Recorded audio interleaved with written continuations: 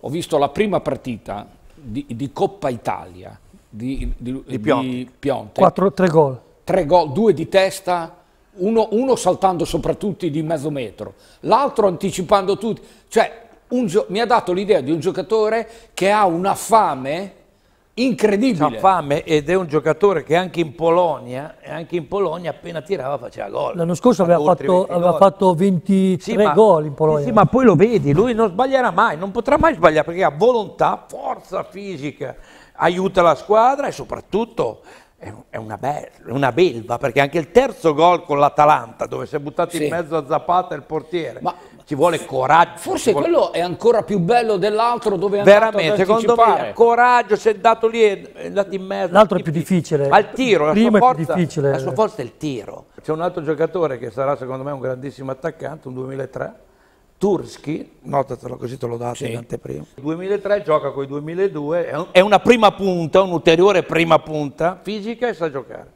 Quello è- Nel futuro, secondo me, questo ce lo ritroveremo, non so se in Italia, ma sicuramente in un campionato importante.